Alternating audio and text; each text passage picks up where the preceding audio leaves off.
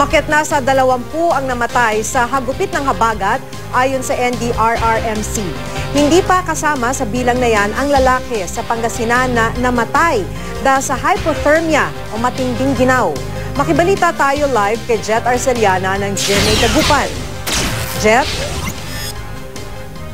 Makihigit 90 million pesos na ang danyo sa agrikultura at infrastruktura ng habagat dito sa lalawigan ng Pangasinan. Ayon na rin sa PDRRMC, umabot na sa tatlong katao ang nasawi bunsod pa rin ng habagat.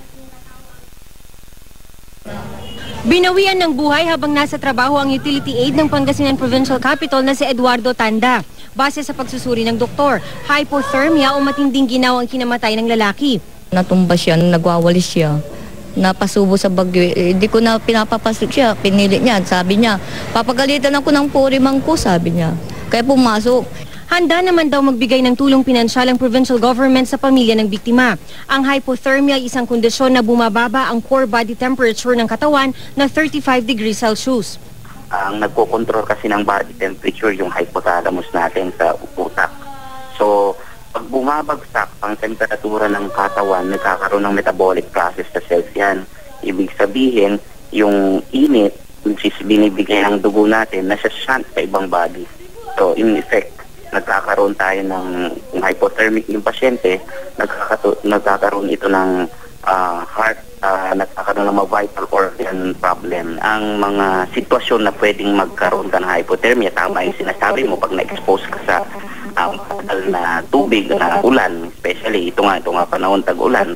Tapos, ah, ah, ang pinaka-prone dito, batang-bata at saka matandang-matanda.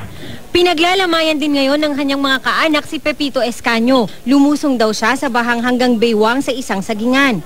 Nadulas daw siya noon at nalunod. Nakitang wala na siyang buhay makalipas ang dalawang oras. pag alam na nilang umuulan tapos bumabagyo, dapat magstay na lang sila sa bahay para makaiwas sa mga ganitong mga, mga pangyayari.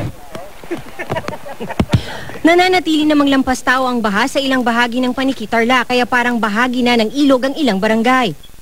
Abot ho ng 7 feet yung pinakamalalim na parte. Pagbabangka na lang ang transportasyon dito, ang ilan gumawa na lang ng balsa mula sa pinagdikit-dikit na puno ng saging.